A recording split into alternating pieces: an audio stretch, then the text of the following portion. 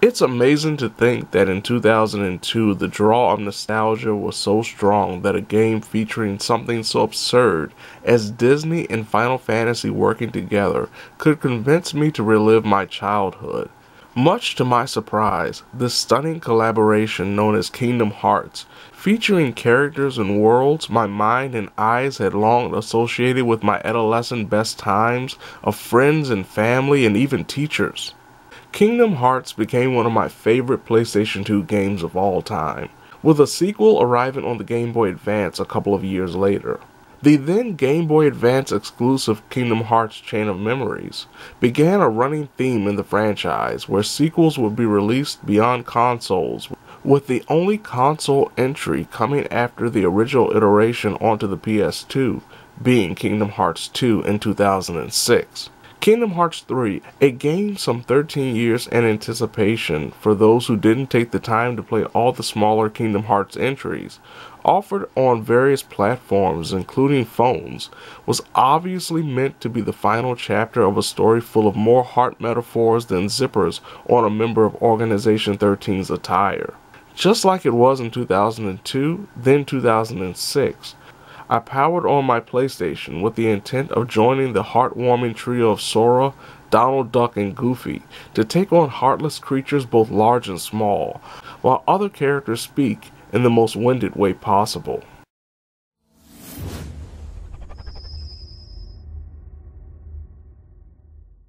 Completing a Kingdom Hearts game has always been about filling out Jiminy's journal.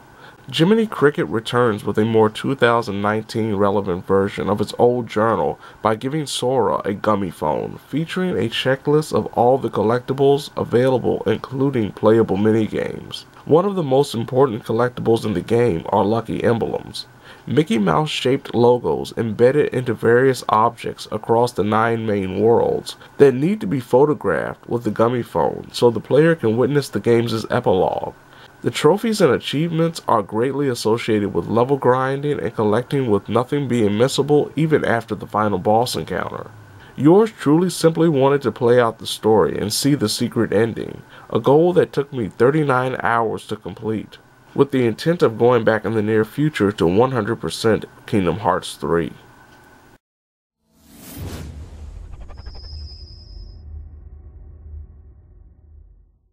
As expected with a franchise so grandiose as Kingdom Hearts, the canonical 10th entry in the series known as Kingdom Hearts 3 is full of callbacks and fan service for those who have been so painstakingly dedicated to everything that has transpired thus far. The adventures of Sora, King Mickey Mouse, Sora's old buddy Riku, the corrupted Xehanort, provide players a chance to revisit some old Disney worlds seen in previous entries, be introduced to some new Pixar created environments, such as the impressive Toy Box, based off of Toy Story, and even reach the mecca of all Keyblades by the game's final act. Though convoluted in terms of lore, the overall plot of Kingdom Hearts 3 is relatively simple, as Sora attempts to regain his power of waking. All the while, King Mickey and Riku search for their various friends, who have been consumed by the darkness set forth by Xehanort, as the villain gets closer to summoning Kingdom Hearts.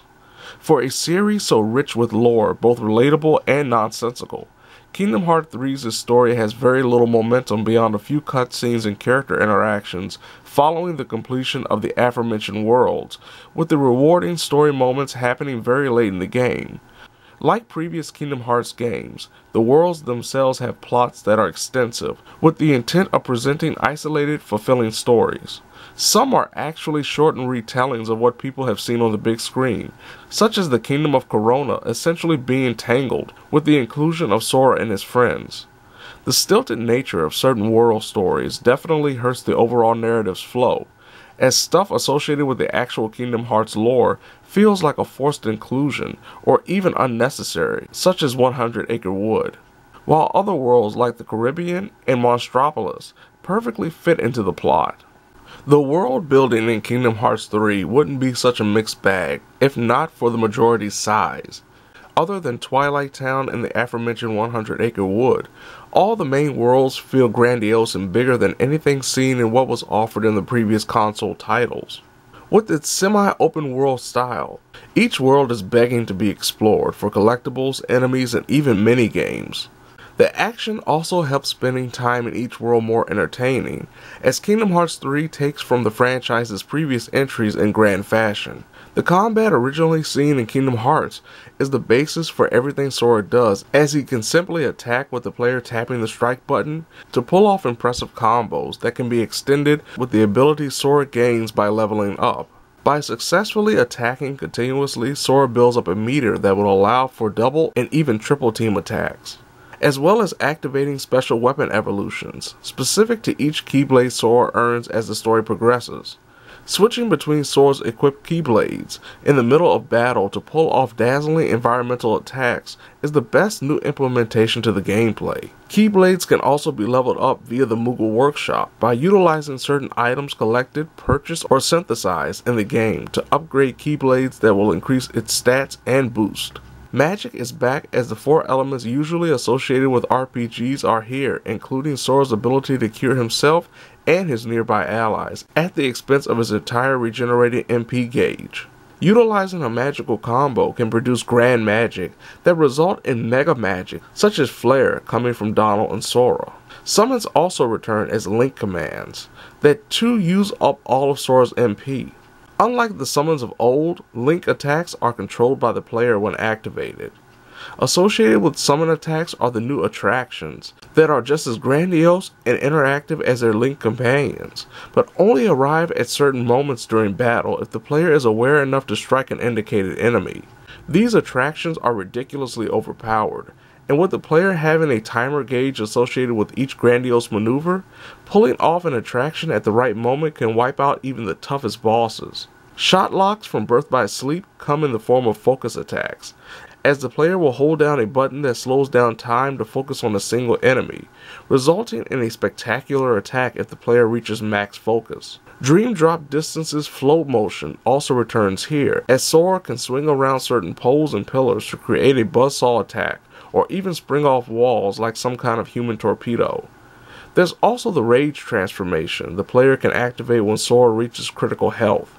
Though utilizing the transformation's most powerful attacks actually reduces Sora's health, that can turn an advantage into a disadvantage if the player tries to spam attacks. A majority of the enemies work just like they did in the franchise's previous entries, while newer enemies like Minotaur Heartless and the gigantic bosses that make up the conclusive battles in almost every world provide unique challenges when it comes to attack patterns. Unfortunately, gameplay issues from previous Kingdom Hearts entries are still here, including the archaic lock-on system. Utilizing the soft lock auto-targeting system is for the best, but may prove frustrating when Sora starts swinging at the enemy to his left or right, even if he's facing the adversary the player is intending to hit.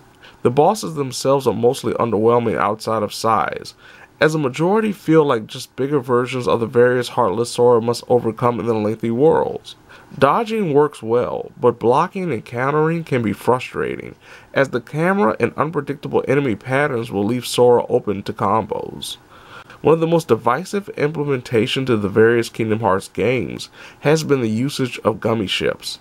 While the Gummi ship creator is still incredibly deep, Actually flying and fighting with the Gummi ship is completely different compared to its predecessors for all the right reasons. Traveling around various galaxies, collecting Gummi points, unlocking gigantic treasures, and taking on adversarial ships in 3D action all make up the intergalactic voyages. If there's one major flaw with Gummi ship travel, it's how slow the ships are without the player going out of their way to upgrade the ship.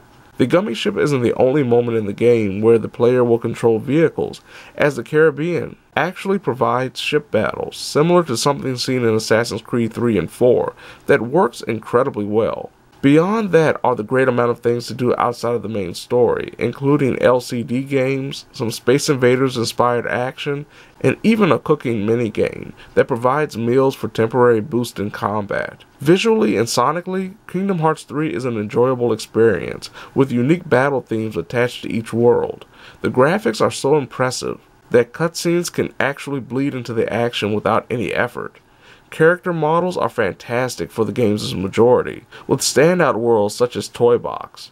Kingdom Hearts 3, for all of its positives, doesn't feel like the satisfying finale to a lengthy saga, spanning 17 years due to the ambitious nature of its lore being too much for a single game to handle, especially when certain worlds the player must invest time in don't help the narrative's flow. The gameplay, thankfully, is a blast to play from beginning to end, with the graphics and audio being exceptional. It's hard to believe longtime Kingdom Hearts fans will feel hopefully satisfied with the game's narrative. But those who just want to have a good time playing a not so lengthy RPG full of stilted dialogue and some epic closing hours will forget about the plot holes and nonsense while enjoying fantastic moments like Baymax explaining what a fist bump is to Sora.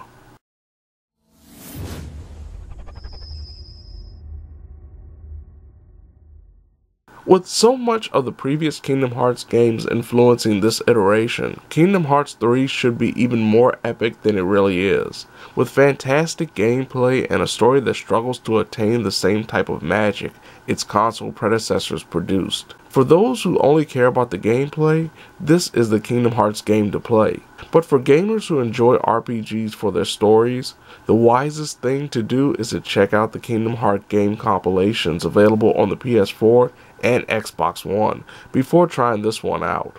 Thankfully, for those who don't have the patience to play all the other Kingdom Hearts games, there are various narrative summaries out there to educate the player about what happened leading up to Kingdom Hearts 3.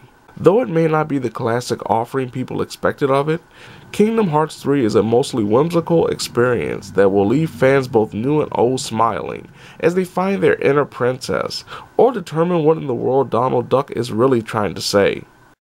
How are we supposed to get there now? What? I thought you knew. Looks like all the old highways are closed. Didn't Master Yen Sid say that Sora should trust the guidance his heart gives? Come on, Sora!